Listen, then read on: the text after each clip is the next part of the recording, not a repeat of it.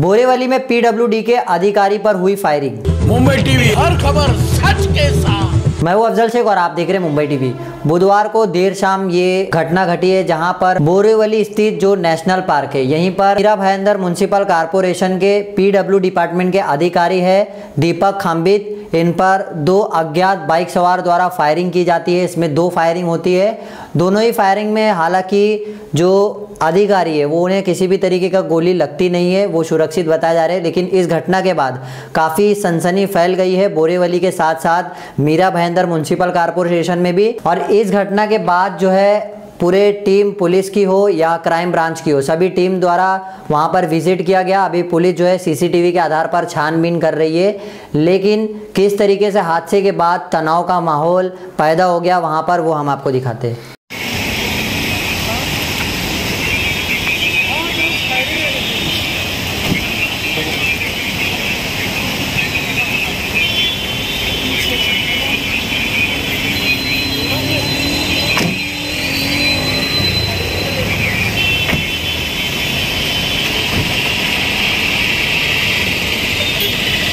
Visual तो भेज अरे अभी तो आया।